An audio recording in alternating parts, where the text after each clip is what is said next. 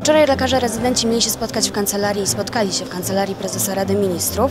Spotkali się z, e, nie z panią premier, a z ministrem Radziwiłem i z Beatą Kępą. Jakby pan to skomentował, że nie była pani premier na miejscu?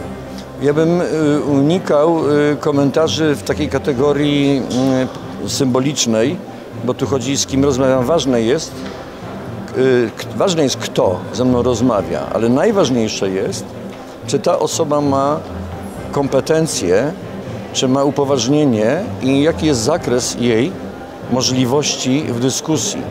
Y, Pani premier, y, w moim głębokim przekonaniu i w wiedzy mojej, i chyba Państwa też, nie jest osobą, która umyka, uchyla się i lekceważy ludzi, tym bardziej takie środowisko jak lekarze. Przecież y, taki zarzut, nawet pośrednio formułowany, y, no jest y, głęboko nieuczciwy i nie fair i nieprawdziwy.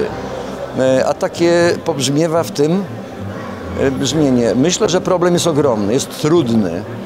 Y, Sama pani premier, która jest szefową całego rządu, również pana ministra Radziwiła, musi się też nad tym bardzo mocno pochylić. To wymaga jednak czasu. Rozmowy są trudne. E, musi- Bardzo mi brakuje uczciwej e, takiej dyskusji i świadomości, że ta sytuacja, nie tylko ta, a pielęgniarki, problem w ogóle finansowania, uderzam się we własne piersi.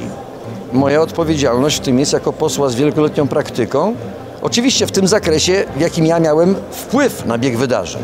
Ale powiedzmy sobie, to jest to tak zwane moralne prawo do krytyki. A mówiąc językiem takim ulicznym, ta ostra jazda i wyżywanie się na obecnym rządzie i premier przyjść tu wszystko to, ja nie mówię o lekarzach protestujących, ale o tych, którzy chcą zbić kapitał na tym, a co oni zrobili i, i wie pani, to tak można się przerzucać. Ja uważam, że są zaniedbania całych kadencji, różnych ekip. Na pewno, bo, bo to nie jest prosta rzecz, bo tu jest wiele tematów. Bo można by jednym ruchem znaleźć te 200 milionów i załatwić sprawę. Nie, oni sami mówią, ci lekarze, że chcą dyskusji o całej służbie zdrowia. Ale tego się nie zrobi o tak. I te e, e, obietnice e, publicznie wypowiedziane, czyli gwarancje, okej, robimy od lipca dla Was, bo to są młodzi lekarze. Też u lekarzy różne sytuacje są, ale ci młodzi naprawdę mają trudny start. To każdy wie. Trzeba to powiedzieć, to, to są ludzie, i jeszcze to ryzyko odejścia z zawodu, wyjechania, no, no to, to, to nie można to, to, tym się bawić, bo to jest bomba, która może eksplodować i wyrządzić ogromne, ogromne. Brakuje nam różnych specjalizacji, ale o tym minister cierpliwie mówił. Myślę, konkludując, że przy dobrej woli, yy, przy jakiejś też wyobraźni, jeżeli to będzie czyste, nie będzie ten sos polityczny, myślę, że dojdzie do porozumienia. Nie mamy, jesteśmy skazani na porozumienie zresztą. Yy, I jednocześnie będzie to impuls do dyskusji i, z- i, i zmiany i poprawy całej sytuacji służby zdrowia. Ja powiem chociażby o jednym aspekcie. To dedykuję świętej pamięci profesorowi Relidze.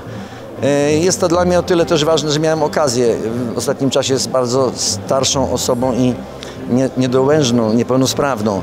E, Starzejemy się, jesteśmy społeczeństwem coraz starszym. Mm, Geriatria, ale mówię o czym innym. W Unii Europejskiej rocznie na opiekę i pielęgnację, nie mylić tego z leczeniem, wydajemy w Europie 1,2 PKB. Spójrzmy na sytuację w naszym kraju. Tu są też pieniądze, bo nie dlatego, że nie trzeba ich wydawać, ale to nie są pieniądze właściwie wydawane w szpitalu. Ilu starszych ludzi w szpitalu przebywa na zasadzie takiej quasi hospicyjnej, umiera i w sytuacji, kiedy powinni być pielęgnowani, opiekowani z jakimś może dozorem medycznym. Ile to pieniędzy jest? To jest chore. Chora jest służba zdrowia, to prawda, w wielu miejscach wielkie uznanie dla całej ciężko pracującej grupy pielęgniarki. Tych tematów jest naprawdę, to jest, nie powiem stajnia Augiasza, ale to jest naprawdę problem tak trudny, y, że formułowanie, oczywiście, trzeba czasu i bym apelował do wszystkich stron, do tych, którzy mają również wpływ na protestujących i na tych z naszej strony, żeby naprawdę siąść i rozmawiać. A jeżeli by się zdarzyła jakaś chwila emocji u kogoś z uczestników, proszę też zrozumieć. Nasza pani premier jest y, osobą wrażliwą i mającą łagodny charakter, ale jest poddawana również sytuacjom stresogennym. I nie chciałbym, ale czasami, nie daj Boże, że też mogą jej nerwy przyjść, bo naprawdę nie można tak lekko jej traktować.